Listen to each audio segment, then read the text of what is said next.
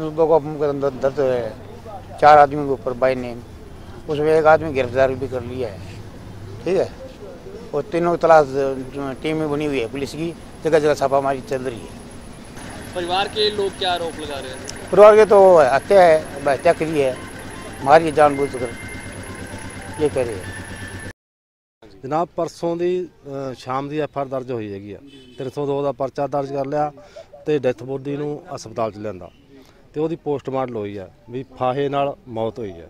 ਠੀਕ ਹੈ ਜੀ?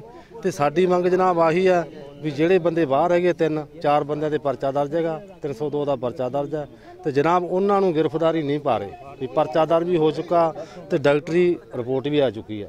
ਤੇ ਸਾਡੀ ਮੰਗ ਆਹੀ ਹੈ ਜੀ ਵੀ ਉਹਨਾਂ ਨੂੰ ਗ੍ਰਿਫਤਾਰ ਕਰਕੇ ਉਹਨਾਂ ਤੇ ਅਰੈਸਟ ਪਾ ਕੇ ਤੇ ਉਹਨਾਂ ਨੂੰ ਉਹਨਾਂ ਦੀ ਕਾਰਵਾਈ ਬਣਦੀ, ਜਿਹੜੀ ਬਣਦੀ ਕਾਰਵਾਈ ਉਹ ਕਰਨ, ਵੀ ਨਜਾਇਜ਼ ਕੋਈ ਨਾ ਫਸੇ, ਜੇ ਕੋਈ ਜਾਇਜ਼ ਆ ਤੇ ਉਹ ਵੀ ਠੀਕ ਆ, ਜਿਨ੍ਹਾਂ ਨੇ ਕੁਝ ਕਰਿਆ ਉਹੀ ਫਸਣ ਦੂਜੇ ਨਾ ਫਸਣ ਤੇ ਕਾਰ ਮਾਮਲਾ ਸਾਰਾ ਇਹ ਸੀ ਵੀ ਕੁੜੀ ਜਿਹਦੇ ਮੈਨੂੰ ਫੋਨ ਕੀਤਾ ਗੁੱਡੀ ਨੇ ਵੀ ਵੀ ਮੈਨੂੰ ਆਂਦੇ ਪਾਪਾ ਮੈਨੂੰ ਆ ਕੇ ਲੈ ਜਾ।